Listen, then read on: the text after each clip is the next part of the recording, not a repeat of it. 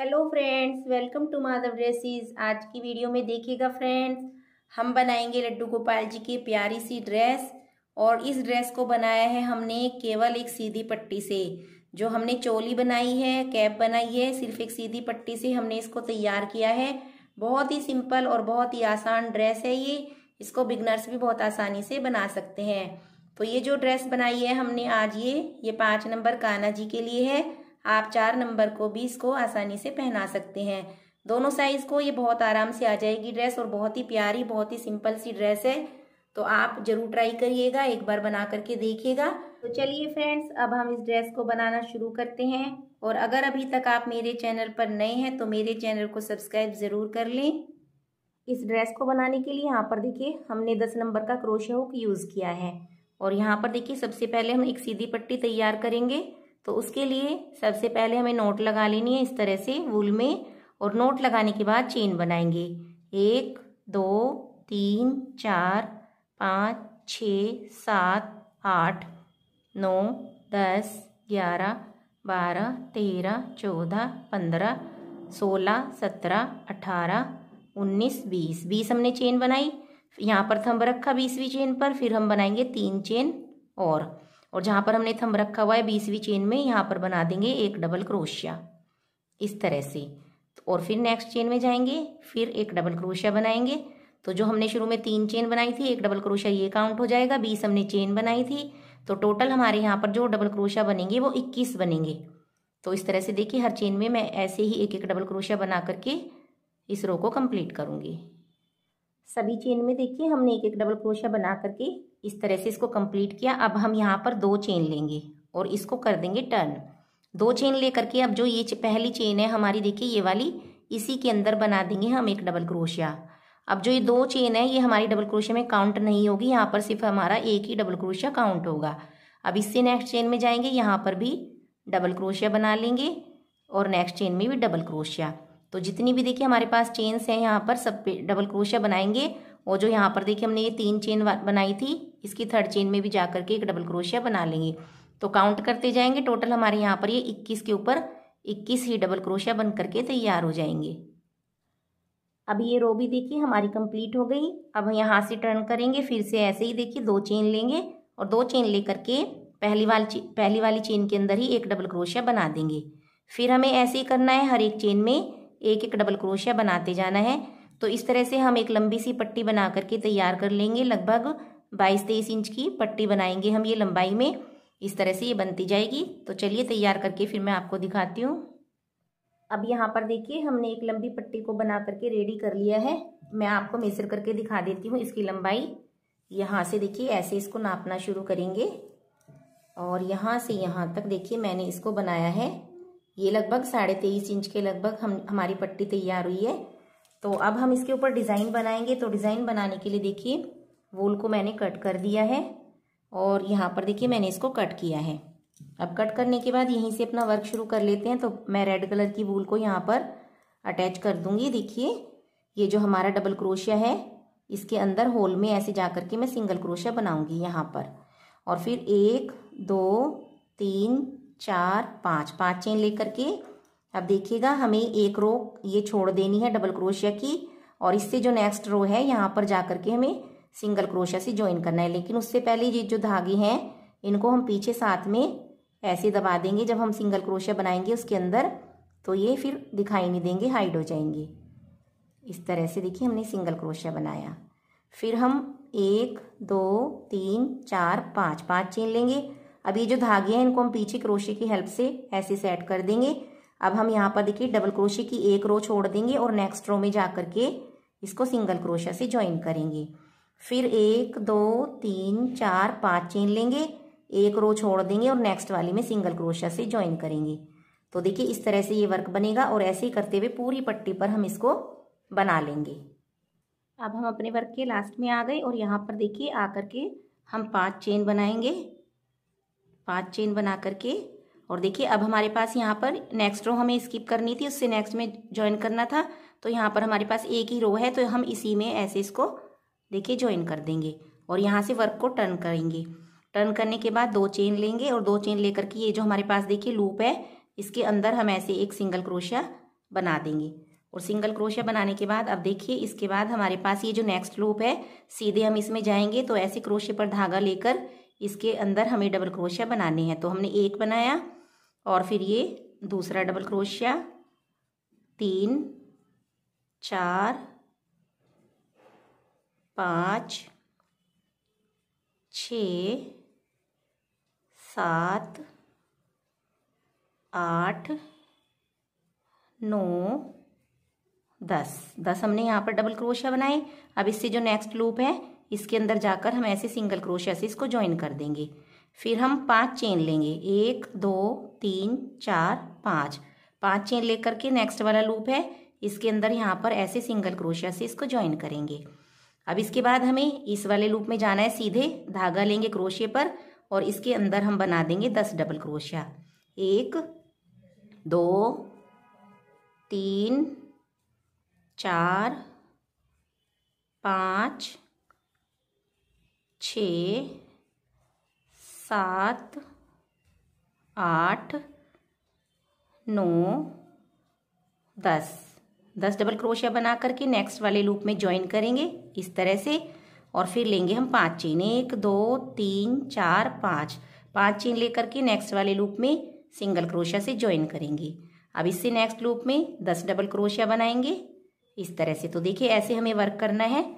सबसे पहले हमने लूप में ज्वाइन किया। नेक्स्ट में दस डबल क्रोशिया बनाए। नेक्स्ट लूप में ज्वाइन किया, फिर पाँच चेन लेकर के नेक्स्ट लूप में ज्वाइन किया सिंगल क्रोशिया से, फिर इससे नेक्स्ट लूप में दस डबल क्रोशिया बनाए, इससे नेक्स्ट लूप में हमने ज्वाइन किया सिंगल क्रोशिया से, फिर पाँच चेन ली नेक्स्ट लूप में ज्वाइन किया सिंगल क्रोशिया से, फिर नेक्स्ट लूप में बनाएँगे दस डबल क्रोशिया तो इसी तरह से रिपीट करते जाएँगे और ये वर्क को हम कंप्लीट कर लेंगे। अब हम अपने वर्क के लास्ट में आ गए और देखिए यहाँ पर हमने दस डबल क्रोशिया बनाए, अब इससे नेक्स्ट लूप में जाएँगे और यहाँ पर ऐसे सिंगल क्रोशिया से इसको ज्वाइन कर देंगे। अब हमें इसको टर्न करना है तो यहाँ पर एक, दो, तीन तीन चेन लेकर के हम ऐसे अपने वर्क को टर्न कर लेंगे।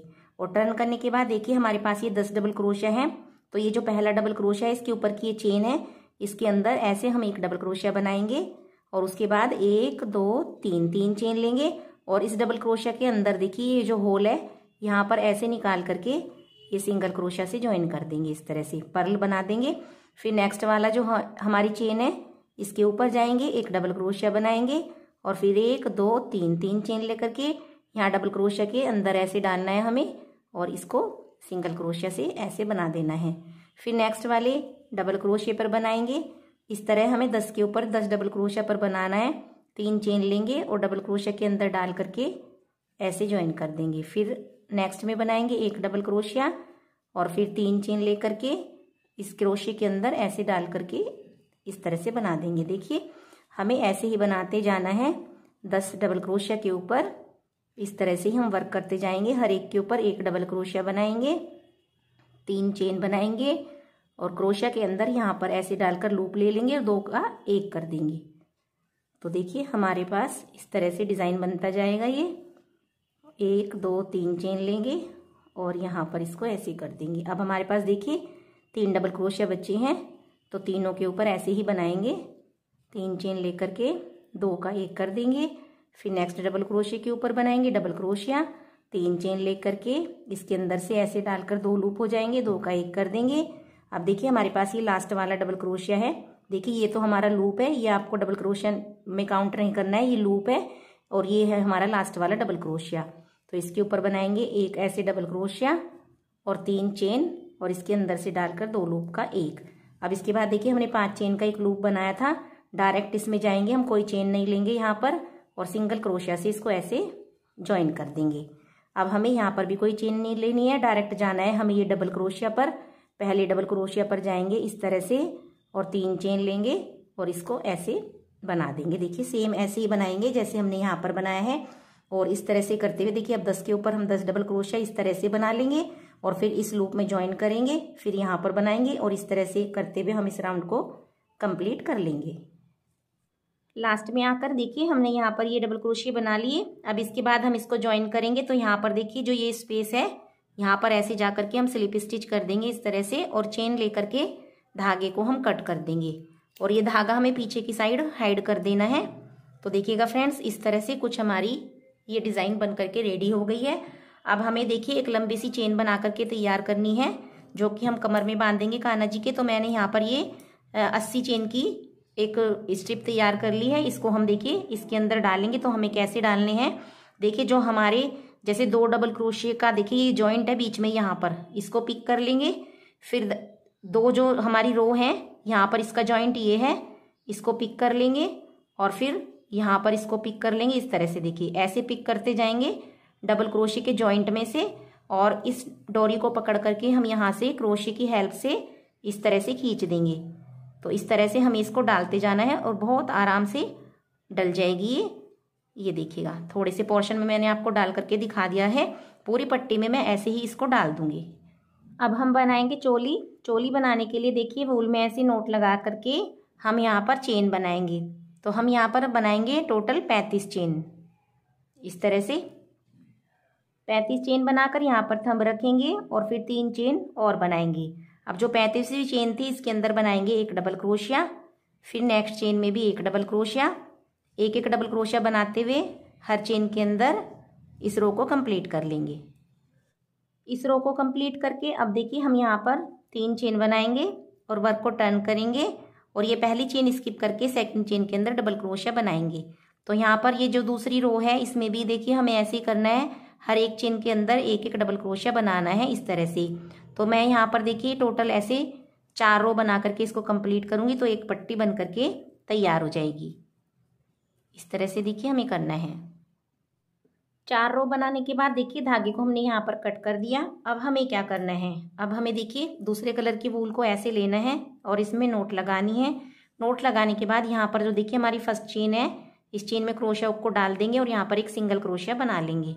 अब इससे नेक्स्ट चेन जो है यहाँ पर जाएँगे और ये धागा जो है पीछे वाला इसको साथ में लेंगे और यहाँ पर भी सिंगल क्रोशिया बनाएँगे। तो हर एक चेन में ऐसे ही करना है, हमें एक एक सिंगल क्रोशिया बनाना है और इस रो को देखिए ऐसे ही हम कंप्लीट कर लेंगे। तो चलिए इसको कर लेते हैं, फिर आगे आपको बताती हूँ कि कैसे करना है। अब यहाँ पर देखिएगा हमारी ये पट्टी बनकर के रेडी हो गई है। इसके बाद हमने देखिए एक चेन बनाई हुई है, इस चेन को हम डालेंगे इसके अंदर, जो कि हम यहाँ पर काना जी को कमर में अच्छे से बाँध सकेंगे।